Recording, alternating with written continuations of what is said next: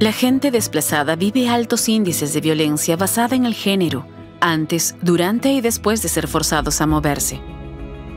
Este trauma sucede en sus hogares, sus comunidades y en los lugares donde luchan por ganarse la vida. En respuesta, humanitarios buscan apoyar la resiliencia de individuos desplazados a través de un enfoque centrado en sobrevivientes. Pero, ¿estamos descuidando una herramienta clave en nuestra respuesta? Rentables y flexibles, las transferencias monetarias son usadas ampliamente en los marcos humanitarios para crear oportunidades y contribuir en la dignidad, pero casi no son usados en respuesta a la violencia basada en el género. Un programa en Ecuador puso a prueba esta omisión.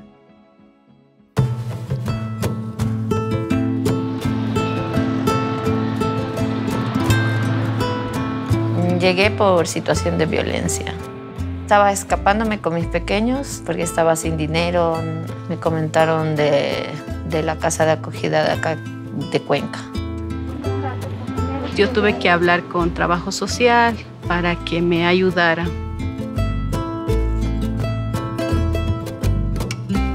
solicité alimentos. En su momento, igual en efectivo, me han ayudado.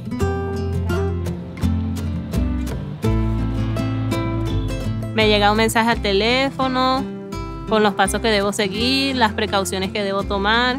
De ahí me dirijo al cajero, hago los pasos y retiro el dinero. Sí me siento segura de manejar el efectivo, pues, porque siento que ya es mío y puedo, puedo contar con ese dinero y disponer de él como yo quiero.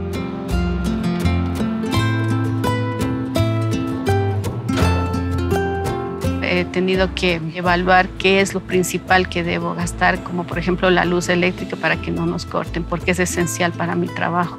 Entonces he buscado la manera como salir adelante. La experiencia de la distribución en efectivo a las sobrevivientes de violencia de género fue extremadamente positiva para nosotros. Fue una sorpresa que las mujeres se decidieran por adquirir implementos que les ayudaran a generar una actividad de autonomía económica. Eso para nosotros es extraordinario.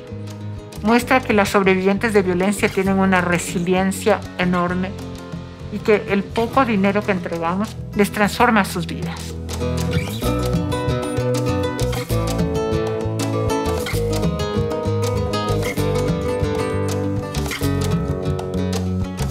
Que hay temas que se deberían mejorar y, por ejemplo, podríamos incrementar la cantidad de recursos que entregamos. Podríamos hacerlo más largo. Algunas nos decían, no necesito retirar todo el dinero de una vez.